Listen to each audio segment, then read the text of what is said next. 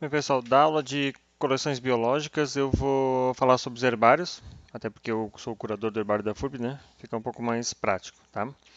É, eu vou trazer vários usos e vou explicar um pouquinho como é que funciona o herbário, especialmente para quem não é da área, né? Ou está muito tempo afastado. É, então é uma parte vai mostrar um pouco mais de aplicações, tá? Bom, o herbário mais antigo do mundo é o herbário do, do Museu de História Natural de Paris, que a gente abrevia pela letra P. Os herbários eles recebem siglas, né, que a gente chama de acrônimos. Tá? É, os mais antigos são de uma letra, os mais recentes podem ter mais. Mas, por exemplo, o R é o do Museu Nacional do Rio de Janeiro, o K é do Kew Botanical Garden e por aí vai, né? São os mais antigos. O de Paris é de 1600, né? isso explica porque ele tem 8 milhões de amostras. É, e todos eles estão registrados no que a gente chama de Index Herbariorum. Esse índice ele é gerido pela Barbara Tears do New York Botanical Gardens. É um, um, um, site aberto, né? Ele foi reformulado ano passado. Vocês podem entrar lá. Ela inclusive publica relatórios anuais de quantos novos herbários foram criados, quantos foram desativados, enfim, uma série de informações, tá? É... E no Brasil a gente tem algo parecido, mas eu vou falar mais no finalzinho dessa aula. E herbário em si, ele provavelmente foi a ideia foi criada por este italiano Luca Dini, tá? Ele não deixou nada escrito, é, mas ele foi importante na botânica, né? Na época, botânico, médico, era tudo a mesma coisa. É, e ele inventou lá por 1520 ou 1530 as técnicas de secagem de plantas. E a gente usa elas até hoje em dia, tá? E provavelmente, é, então, se acredita ele nessa ideia de criar um herbário, armazenar as amostras, porque por esse período já se começavam as navegações e era um pouco difícil começar a armazenar todo esse material, né? Então, em cultivo, por exemplo. Então, se começou a secar amostras para entender como estudar melhor a flora. A Bíblia dos herbários é esse livro ali, The Handbook Herbarium, um, The Herbarium Handbook. Tenho lá no laboratório, eu desconfio que tem versões na internet. Ah, e mostra quais são as técnicas. Eu não vou me detalhar muito sobre ele, porque eu acho que não é o objetivo da nossa aula, né? O legal era a gente fazer essas práticas, mas infelizmente a, a distância não nos permite. É, e recentemente veio esse guia de boas práticas, né, na terceira edição, publicado recentemente, é, 2019, se não me engano, isso, que traz algumas coisas que eu vou discutir com vocês, tá? É, de como fazer, né? Como proceder com algumas ideias principalmente por conta de, das novidades, enfim, da, nos herbários. Tá? Mas como é que a gente trabalha? Né? Qual é o, que é o nosso organograma? As amostras elas são coletadas em campo. Geralmente, quando é biólogo coleta, é muita amostra. Tá? É, Para estudos de bioprospecção são menos amostras, mas em maior volume da mesma espécie. E esse material é secado, a gente no laboratório usa uma estufa hum, de circulação de ar. Vocês entrarem lá, vocês vão ver tem duas bem no, na entrada no fundo. Essas estufas ficam aí a média de 50, 70 graus. E a planta em 1, 2, 3 dias no máximo, se ela for muito carnosa, ela seca. Tá? Elas ficam no meio do jornal secando. Tem herbários que usam estufas de lâmpada. Essas lâmpadas são aquelas de estádio de futebol, elas aquecem bastante, né? O problema é que hoje em dia está difícil comprá-las, porque essas lâmpadas estão ficando virando LED, né? E LED não, não aquece. Então elas ficam é, embaixo, né? Assim, posicionadas é, como se fosse no chão e as material prensado, vou mostrar depois para vocês uma imagem, fica por sobre elas. O problema é que pode pegar fogo, como já pegou na botânica há muitos anos atrás quando tinha uma estufa inclusive que era de fogo. Tá? Então por isso a gente optou por essas estufas elétricas. É, quando é sequal natural ou com essas outras lâmpadas, a amostra fica com mais cor. Quando é com essas outras estufas, ela perde um pouquinho mais de cor. Essa é a desvantagem. Tá? Depois disso, os dados têm que ser digitalizados, ou digitados como é que funciona no FURB, né? Nós usamos... Vai abrir aqui, eu abro de outra forma. Nós usamos um software que é, é online, é na nuvem, né? Que é desse site, é, que é do Jardim Botânico Rio de Janeiro. Somos o segundo herbário a, a entrar nessa plataforma. Hoje em dia, então, nosso banco de dados está todo online, inclusive para digitalização.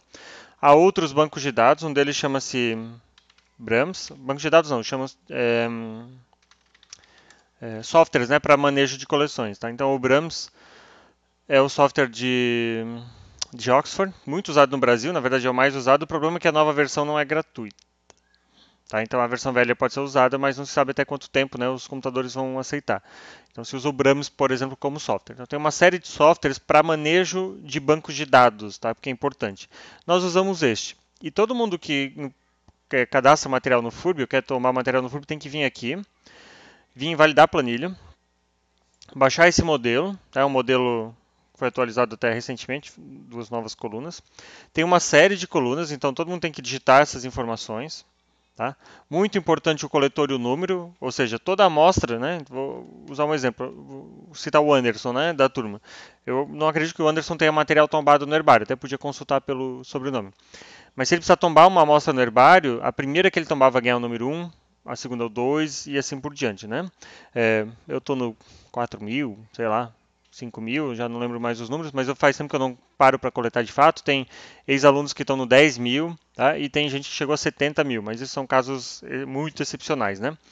É, então a pessoa digita todas as informações, dia de coleta, local de coleta, coordenadas. Hoje em dia não dá de aceitar material sem coordenada. Nome da espécie se souber, cor de flúor, cheiro, enfim, tudo isso é para essa planilha. Tá? As pessoas testam ela aqui, a planilha vai dar eventuais erros. Por exemplo, é, colocar uma coordenada e dizer que é Blumenau, mas na verdade a coordenada cai em, em Joinville. Tá? Então erros de digitação, por exemplo, são detectados aqui. Números de coletores repetidos, a data de coleta é diferente né, da data de determinação, ou seja, você primeiro identifica, depois coleta, não, não é assim, né?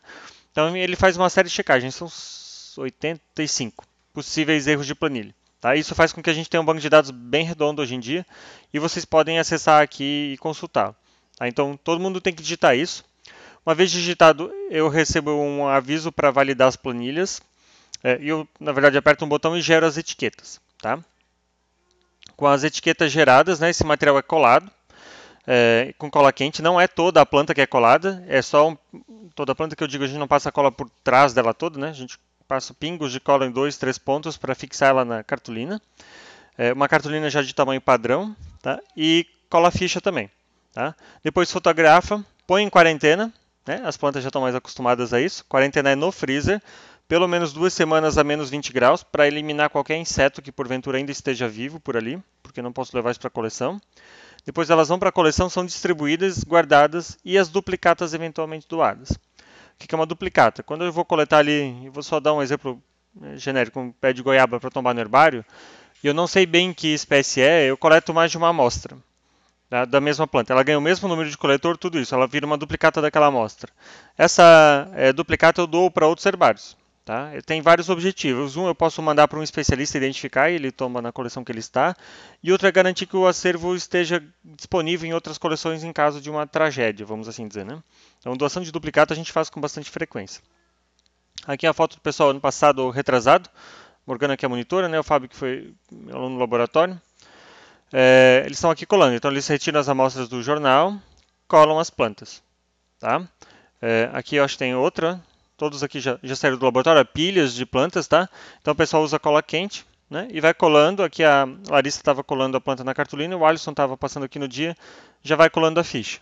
Tá? E depois essas plantas são levadas para fazer foto. Tá? Aqui de novo o pessoal colando a amostra, isso é muito frequente, fazer mutirão. E aqui fica a amostra colada, né?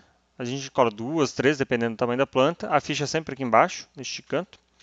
E posteriormente elas vão para fazer foto. Tá? A gente tem aqui um estúdio fotográfico é, comprado de um num projeto e uma câmera, uma Canon 6D fica acoplada e a gente faz as fotos em alta qualidade. Vocês podem olhar naquele site todas as fotos. Depois disso, então, elas são embaladas. Cada planta vai num saco plástico. São duas ou três coleções do Brasil que fazem isso, até porque é um pouco caro. Nós e a coleção de Belo Horizonte, por exemplo, o BHCB, né, a sigla daquele herbário. É, eu achei mais prático quando eu descobri isso, porque protege melhor cada uma das amostras. Tá? Senão o pessoal costuma guardar é, elas empilhadas né, com um pouco mais de cuidado. E aí elas vão para o herbário depois de distribuídas e entram, né, cada uma na sua respectiva caixa. A gente tem usado tanto caixas de plástico quanto essas de metal. Vocês vão ver uma imagem mais adiante. É, tudo separado por família, gênero, é tudo em ordem alfabética. Colocou a planta no lugar errado, vai levar muito tempo para a gente achar de novo. É só quando alguém estiver revisando encontrar, olha, essa planta não devia estar nessa caixa, devia estar em outro lugar. Então acontece isso. Eventualmente, então tem que tomar um pouquinho de, de, cuidado na hora de guardar. Então elas são guardadas, né, em pacotinhos, então aqui dentro são famílias pequenas, né, de poucas espécies, então nessa caixa tem todas essas famílias, cada família é separada por um papel pardo desse, né, uma embalagem, e ali dentro estão, de novo, separado por gênero e por espécie. Ó, aqui estão uma mistura né, de caixas de material e nós temos mais de mil dessas caixas e no momento 67 mil plantas no herbário Furby, tá?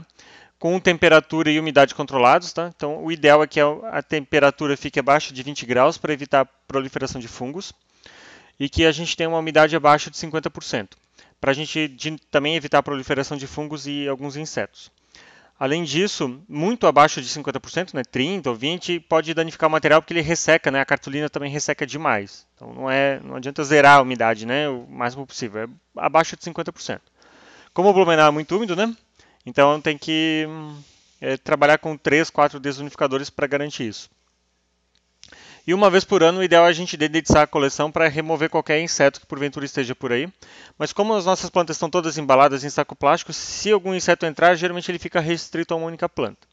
Faz anos que a gente não tem esse problema, né? Então a gente tem controlado bastante e dentro do herbário só entra para retirar a amostra ou guardar. Ninguém fica trabalhando ali dentro por muito tempo, né? com raras exceções. Então, assim, não é um local que eu levo alunos de graduação, por exemplo, para ter aula. Ali é uma coleção científica e o material fica guardado. É uma biblioteca de plantas, tá? Então tem que tomar todo cuidado e só mexe nelas quem de fato sabe mexer, né? Não é, a gente não pode é, é, perder o controle da qualidade dessa informação, tá? Bom, é, nós digitalizamos uma por uma, né? Como eu mostrei aqui para vocês, então demora né, um pouco para fazer foto por foto. Felizmente tem um leitor de código de barra que leu o barcode que está aqui. Essas plantas, inclusive, têm esse código de barra aqui e não na ficha, como nessa daqui, ó, porque essas plantas aqui vieram de doação de um outro herbário, eu acho que de Brasília, pela etiqueta. Então a gente recebeu aqui uma doação de amostras, né, assim como a gente manda duplicado, a gente também recebe. Então esse material ganha um barcode, o sistema, depois de fazer foto, a gente lê o barcode, o sistema já renomeia o arquivo automaticamente e, e faz tudo é, renomeia automático, né? A gente depois recorta as imagens, como a cartolina é padrão, é fácil de recortar a figura padrão, e eu mando ele para as imagens para alguns servidores, né? Onde a gente disponibiliza elas todas gratuitamente. Tá? É, Claro, não é sempre assim, né? Tem o Herbário de Paris com 8 milhões, já digitalizou praticamente todas, e eles não faziam isso na mão. Eu quero mostrar para vocês como eles faziam. Eu não sei se vocês vão ter acesso ao áudio, eu acredito que sim. Mas eles tiveram que fazer um processo de restauro das imagens né, de Paris, para vocês terem uma ideia, e montar esse esquema, só 10 milhões de euros custou, se não me engano, para fazer foto de todas automatizadas. Inclusive são plantas do Brasil, o Brasil financiou parte da digitalização das amostras do Brasil, num projeto chamado Reflore porque a gente queria as fotos, né, os dados do Brasil. Então a gente financiou e pagou pessoas para estarem lá fazendo isso. Então, olha ali, ó. É muito mais prático, foi, né? Muito mais cômodo. Eles fizeram tudo isso automaticamente. As fotos estão em altíssima resolução é, na internet. É só acessar o site do Herbário de Paris. Tá? E assim fizeram 10 milhões de amostras. Muitas estavam muito danificadas, né, por falta de cuidado. É, e aí o sistema renomeava todas perfeitas, né? Então, esse é o mundo, né? Mas não é o que a gente tinha. Também não precisamos gastar 10 milhões de dólares para fazer isso, né? É... Bom, e há uma discussão antiga, na verdade, e ela já vem aqui desde antes de 2000, que é ceder os dados. Porque eu, eu disse para vocês, o nosso banco de dados está todo online. Isso significa que, ali no meu caso, qualquer um tem acesso à informação. Vocês viram, né? Vocês podem consultar. Paris também, qualquer um tem acesso à informação. E é, por muito tempo se discute se assim, você cederia os seus dados de uma pesquisa? Porque é mais ou menos isso que a gente faz direto ou indiretamente, né? É, o Virtus aqui nesse artigo em 2001 né, coloca qual que é o custo e benefício de os herbários ou museus ou coleções biológicas como um todo disponibilizar seus dados. Eu vou voltar a essa discussão um pouco depois, mas olha, eu tenho, a FURB tem custos comigo, né? Eu tenho que cuidar da coleção, a gente tem que ter estagiários, apesar de são, são todos de projeto, né? É, praticamente nenhum é bancado pela FURB. É, a gente tem que comprar cartolina, tem que manter energia elétrica, assim, tem uma série de informações, de cuidados para manter a coleção lá. E as pessoas podem acessar e publicar muita coisa que eu vou mostrar para vocês com os dados do herbários, sem que o curador faça parte do trabalho. Não estou dizendo que eu tenho que ser parte do trabalho, mas para entender assim, como é que é disponibilizar essas informações, né? a política de cessão de dados. Tá? é, nesse sentido, né, essa Open Data, né, que é o que está na moda, é, tem sido discutido há muito tempo. Eu vou mostrar agora uma série de artigos que mostram usos do herbário, mas eles vêm dizer aqui que esses dados eles podem ser usados para ecologia, para trabalho de conservação, para agricultura, uma série de informações podem ser extraídas de bancos de dados de herbário. Então, se deseja que isso ocorra, tá? Mas uh, tem havido umas críticas atualmente quanto a isso. É, por exemplo, ecólogo usa muito dado de herbário, mas não cita o herbário, não cita o coletor. Então, assim, quem coleta, produz, guarda todo o material não, não recebe nenhum uh, bonificação nas suas métricas, né? Porque tudo é métrica hoje em dia para pós-graduação. Então, assim, manter um herbário não me garante nenhuma métrica, por exemplo.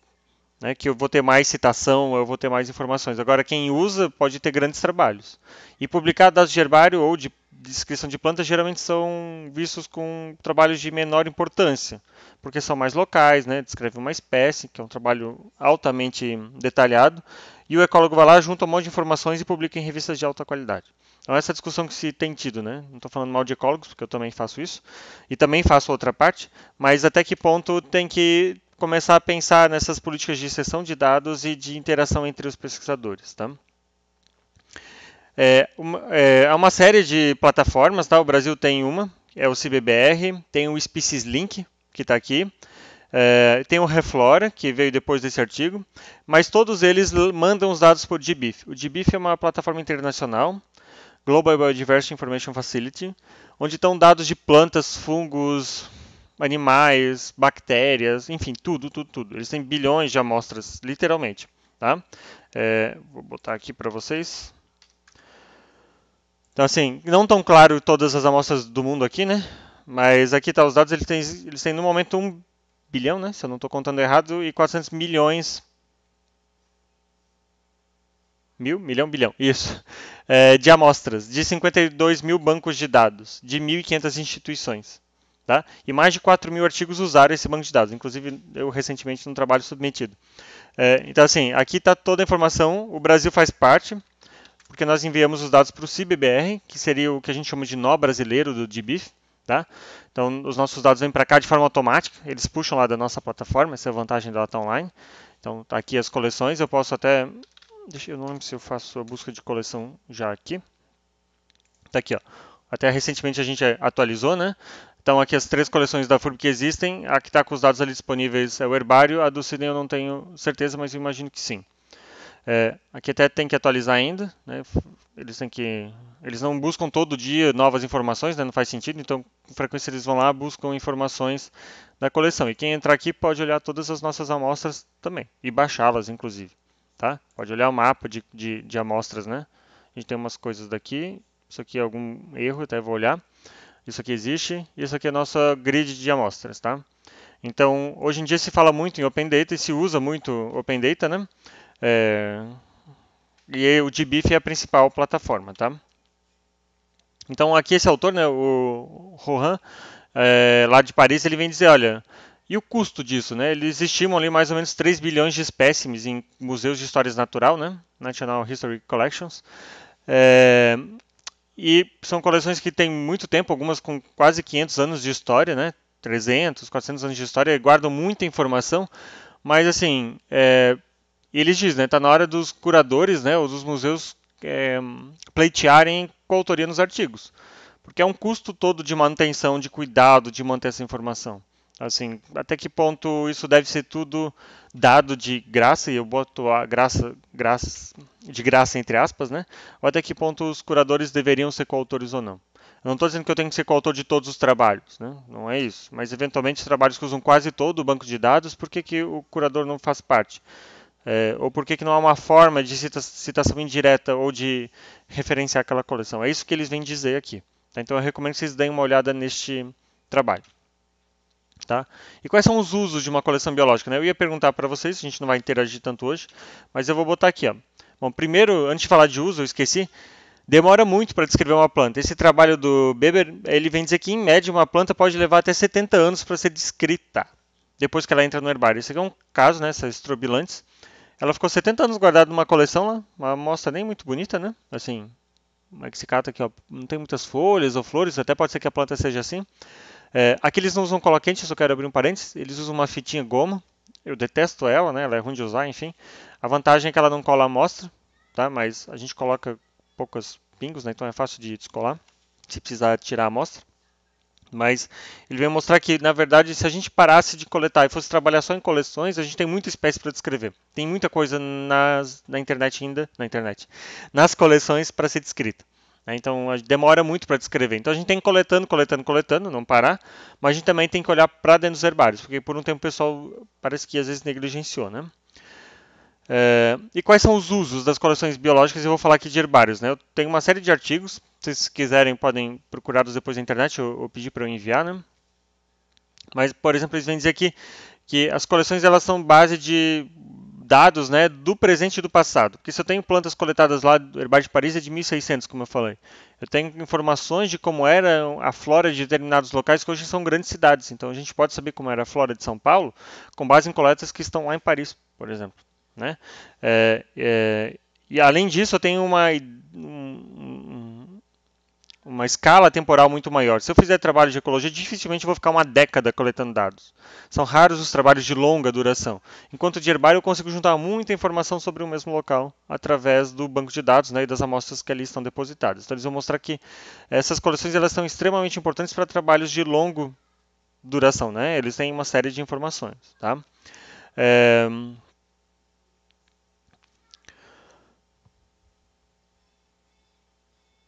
Esses autores, inclusive, vêm dizer, né, só estava relembrando aqui, é, que os trabalhos, é, as coleções, elas devem ser consultadas para trabalho de conservação. Então, não devo só usar dados recém-coletados para definir políticas de conservação. Tem que olhar as amostras que estão em herbário, que podem dar uma luz, inclusive, e guiar políticas de coleta, né, e inclusive de conservação.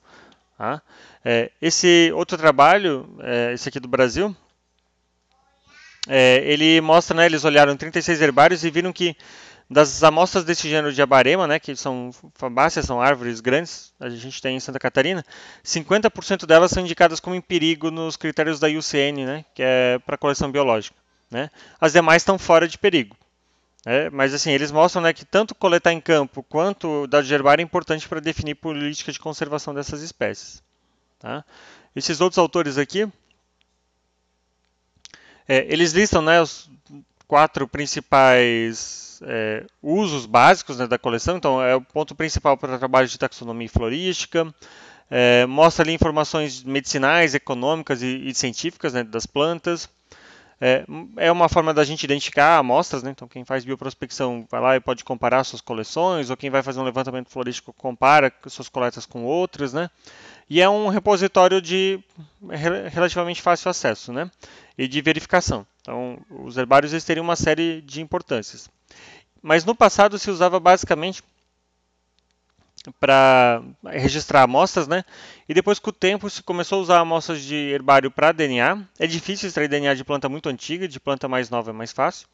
Plantas que foram é, secas usando álcool não funciona, né? Às vezes o pessoal borrifa álcool em campo para durar mais tempo e não fungar porque o álcool degrada o DNA, então tudo aquilo que passou por álcool não dá de extrair DNA da folha, ou o DNA vai vir muito degradado, tá? Mas também se extrai atributos funcionais hoje em dia. Então você começa, em vez de gastar dinheiro aí a campo, eu posso extrair alguns atributos funcionais. O que é atributo funcional? Espessura de folha, tamanho de folha, que mostra ideias ecológicas, né? Então, eu consigo olhar como é que estão esses atributos, espécies de folha grande ou de folha pequena, é é, tamanho de semente, a gente fez isso no herbário, né? pesou e mediu sementes secas. Então, sementes grandes são de espécies de longa duração, dispersadas por aves, né? e que tecnicamente indicam ambientes mais conservados. Então, a gente consegue coletar essas informações. Esses autores aqui mostram, né? dentre fatores genéticos, funcionais, por exemplo, a herbivoria das amostras, né? como essas folhas estão sendo herbivoradas. Plantas pouco herbivoradas podem conter compostos metabólicos interessantes para estudo, né? Posso olhar a fenologia, porque as exicatas são coletadas ao longo de anos, e eu posso ver se elas, o período que elas estão floridas ou frutificando.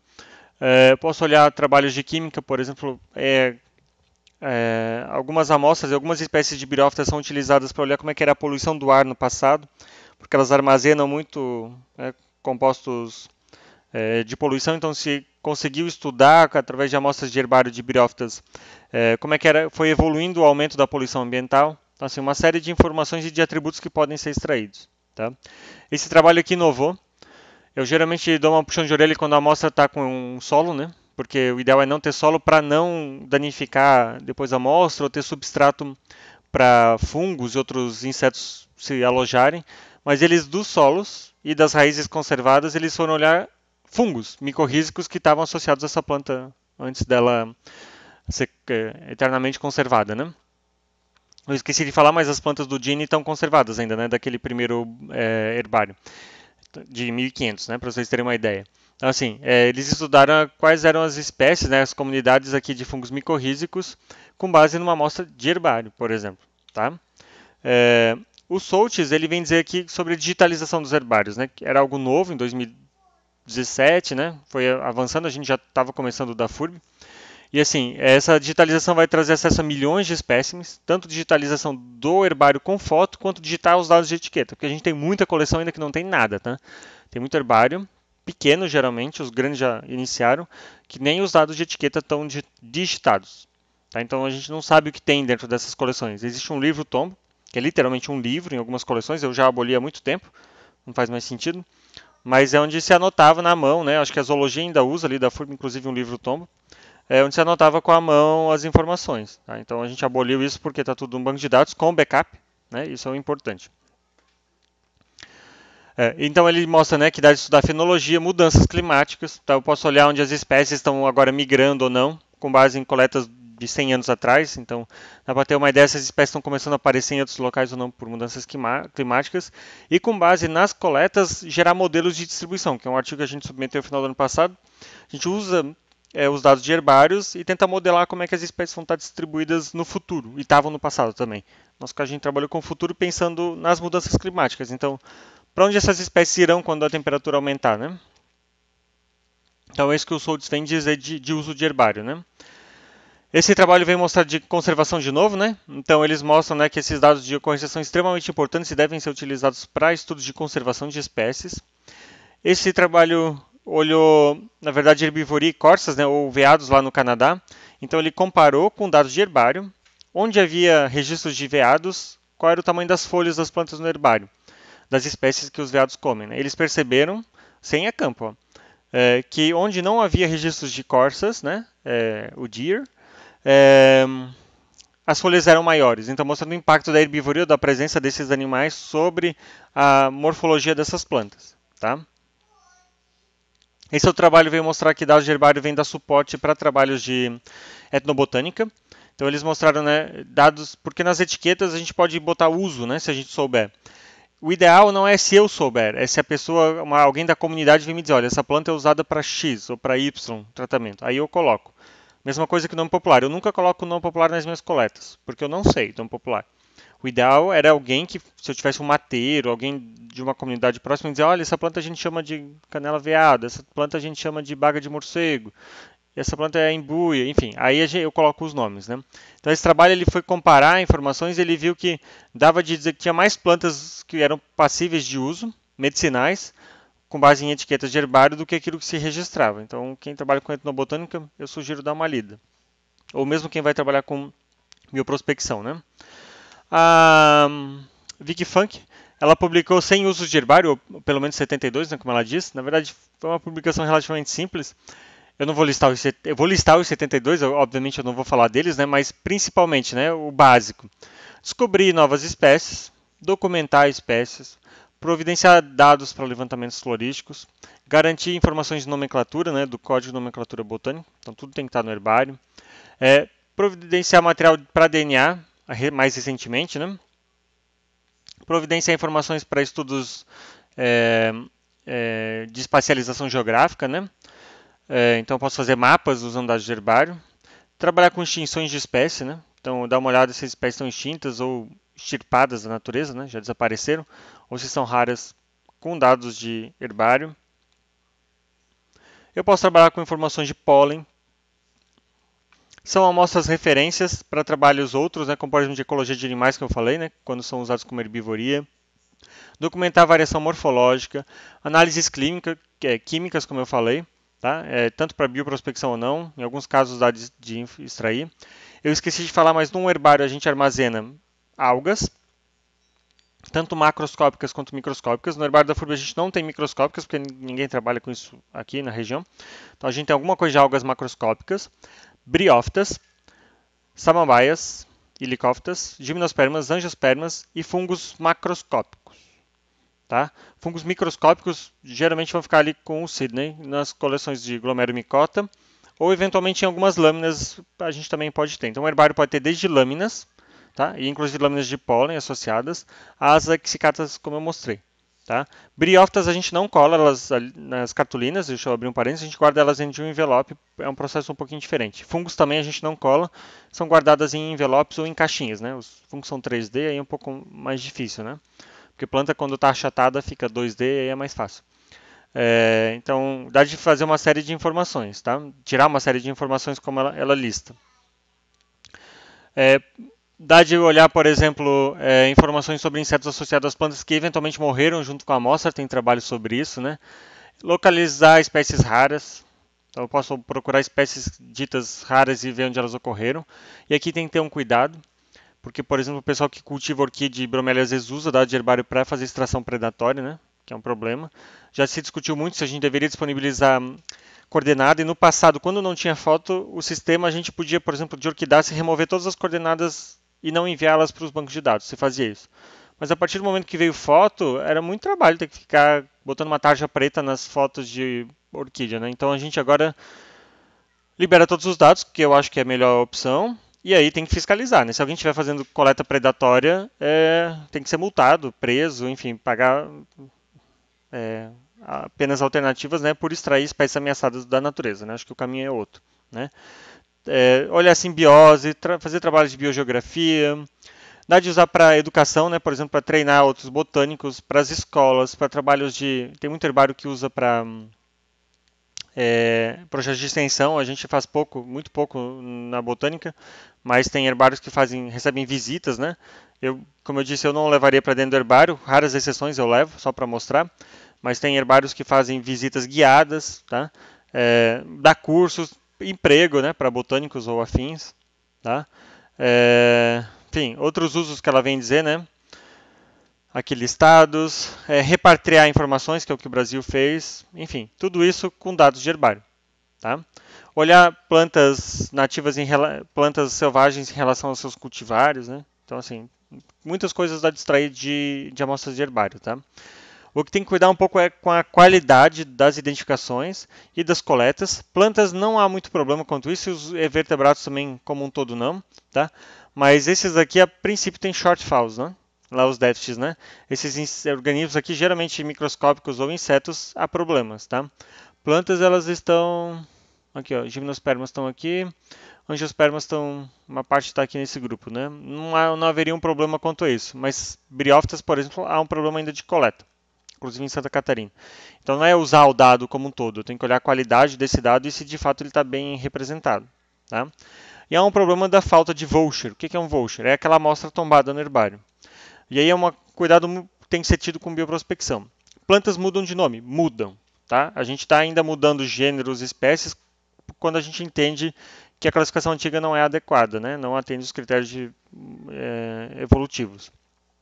E para isso é muito importante quando se toma uma amostra, se faz um trabalho de bioprospecção ou um trabalho de levantamento florístico, listar o número do coletor, o nome do coletor e o tombo do herbário no trabalho. Tá? Então, eles vêm mostrar o problema de não ter voucher, porque eu não posso rastrear. Para vocês terem uma ideia, tem um trabalho agora que a gente está devolvendo para a Nature, que juntou bancos de dados do, de herbários aliás, levantamentos fitossociológicos, né, ou seja, de medição de árvores da floresta atlântica do Brasil todo, Argentina e, e Paraguai junto, né? Tem lá mais de 1.800 trabalhos que foram tabulados pelo Renato lá da USP e, e uma pequena parte tinha voucher, né? Uma pequena parte não, até um número significativo, acho que 30% tinha voucher. Os trabalhos mais recentes é, é mais obrigatório isso já, mas nem todas as revistas pedem. É, e daqueles que tinham voucher, ele conseguiu melhorar a identificação de 10% das amostras, porque ele foi lá nos dados de herbário e atualizou a identificação. Então a gente pode atualizar a identificação e rastrear para onde que nome essa planta começou a ter depois. Porque pode haver erro de identificação? Pode. Normal isso acontecer. A gente estima que em média 10% das plantas não estão bem identificadas no trabalho de florística, né, quando é fitossociologia, porque o material está estéreo. É, e essa é uma forma da gente corrigir essa informação, tá? o voucher. E se pede, né, o, a Miriam e o Geminal pedem, né, os dois de Paris, que a gente comece a colocar não só a planta, mas também a amostra de DNA. No FURB a gente tem de 1.200 espécies, ou algo assim, de Santa Catarina, principalmente das arbóreas, uma amostra de DNA guardado. Não é o DNA, na verdade, a gente separa a folha e deixa lá na sílica. É aquela sílica azul, né? Que fica rosa quando está úmido. A gente seca lá, assim, por uns 15, 20 anos dá de extrair o DNA tranquilo lá de dentro ainda.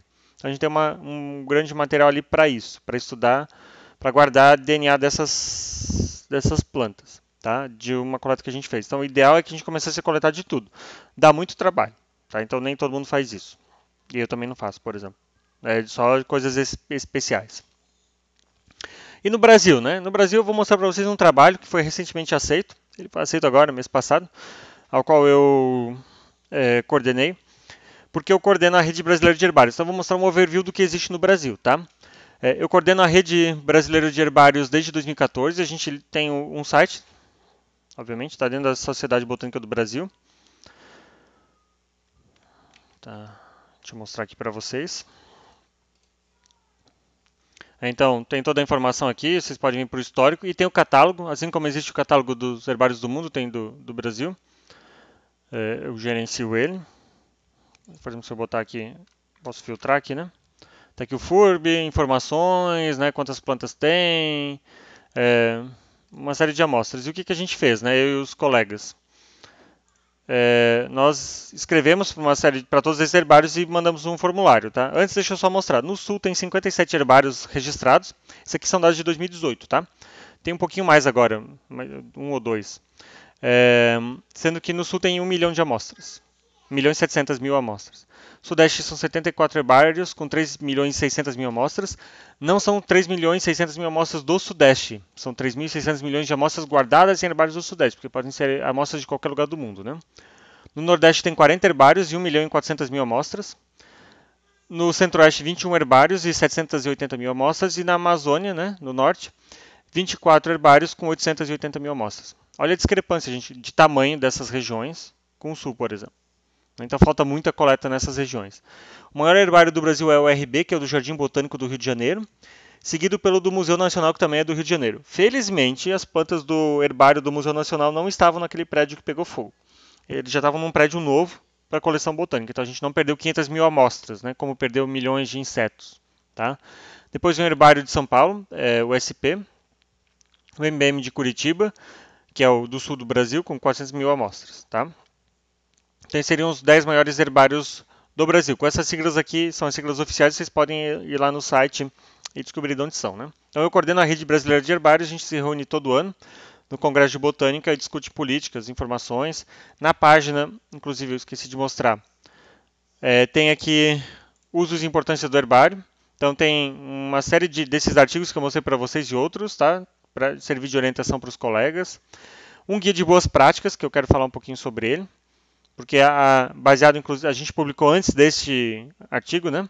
Mas o nosso foi uma série de orientações, principalmente para amostragem destrutiva, porque é o que acontece, a gente empresta amostras. Então eu recebo pedido de empréstimo para teses de, ou dissertações, né? O pessoal não consegue visitar todos os herbários para olhar as plantas que está trabalhando. Então a gente empresta, manda pelo correio bonitinho. E aqui a gente fez uma recomendação para amostragem destrutiva, né? Quando eu preciso remover uma amostra, o que fazer, né? Para quem pedir, para quem não pediu, e como fazer essa uma orientação e política de empréstimo, né? Como fazer, qual o prazo adequado, o que observar, aquele observar. Então tem aqui uma política que a gente publicou sobre isto.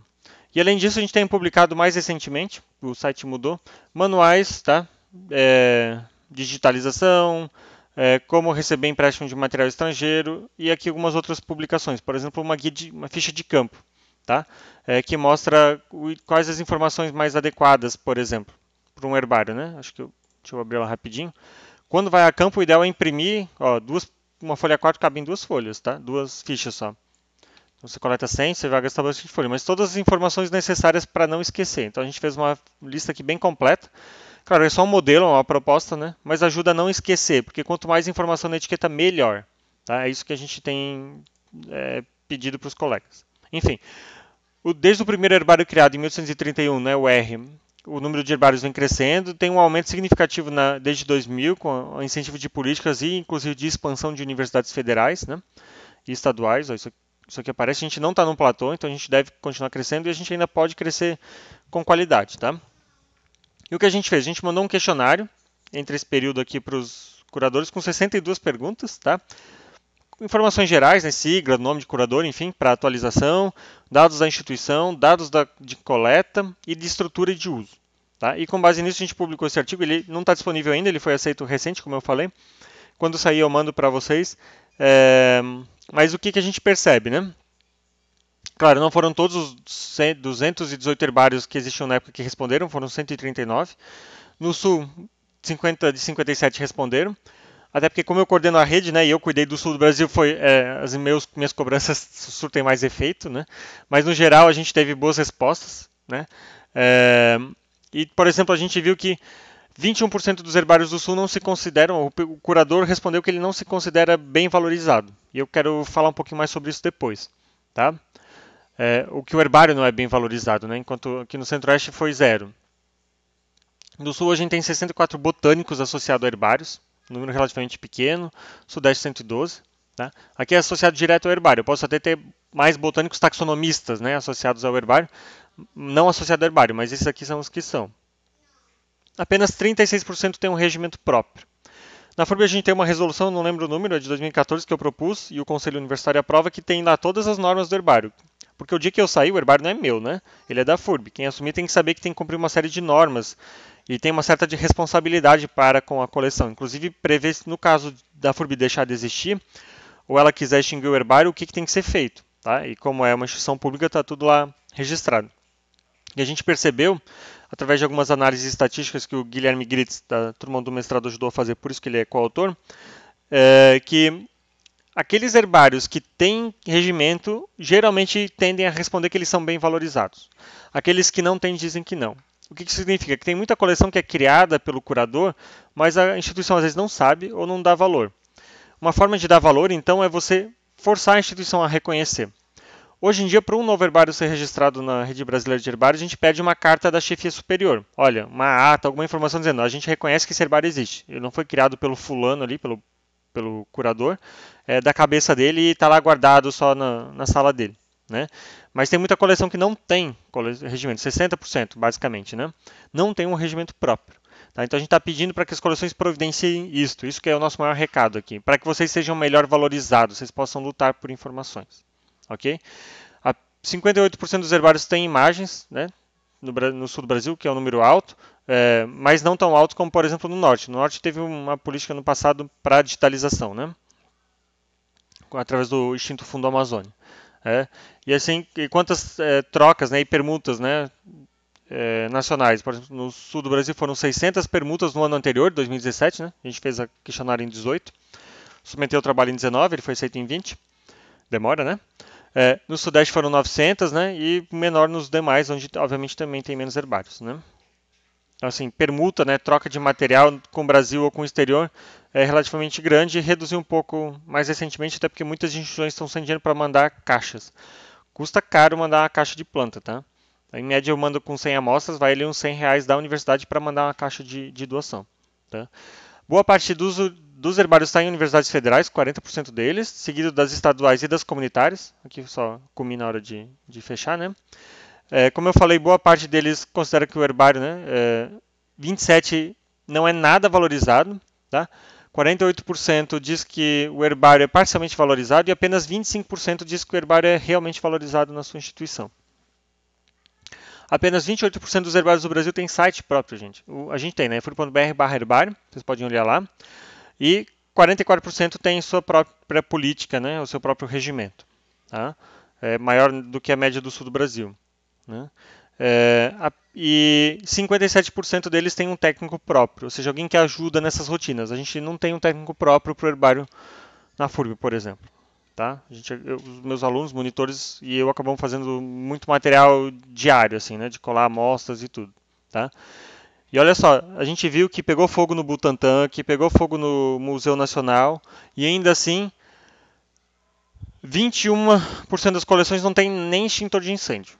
Tá? É, e 72% delas têm extintor, mas só 8, se não me engano, tinham é, detector de fumaça. A gente tem, né? Felizmente. Então, assim, é, falta muito, né? Assim, as coleções faltam muito para ter cuidado. E o que, que a gente vem dizer lá? Quais são as nossas recomendações, né? Que as coleções, é, gente, o governo tem que trabalhar um pouco mais com isso. A gente até agora está trabalhando uma nova política de coleções, né? É, eu faço parte pela Sociedade Botânica do Brasil. É, e a gente pede para que os herbários busquem reconhecimento institucional através de alguma política interna, alguma coisa. Tá? Nesse sentido, regimento, resolução, depende do tipo de instituição, né? Resoluções para as públicas, as privadas, outra forma, mas alguma forma de reconhecimento institucional. E a gente chama a atenção do governo para que ele preste atenção e volte a financiar, porque não tem mais recurso para essas coleções. Imagina como é feio a gente queimar, perder herbário queimado, né? Se é o que pode acontecer. Imagina, é uma coleção altamente inflamável, né? É tudo cartolina e planta seca. Então, assim, para pegar fogo é muito fácil. E está bem seco, né? Então, assim, a gente conclama de novo, olha, a gente precisa proteger porque isso é patrimônio nacional, tem que ser protegido, né? Infelizmente, isso não tem acontecido. Tá? Então, é isso que eu tinha para falar sobre os herbários. O Sidney vai anexar a aula de coleções. É, e a gente se encontra é, em breve com os seminários finais. Até!